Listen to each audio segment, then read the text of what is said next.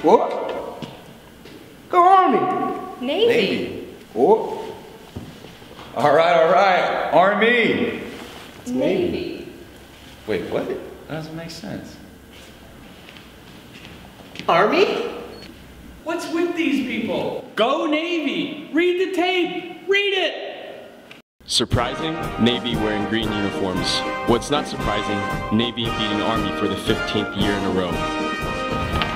I'm Captain Doug Noble, commanding officer of the Navy Supply Corps School, the cradle of the Corps.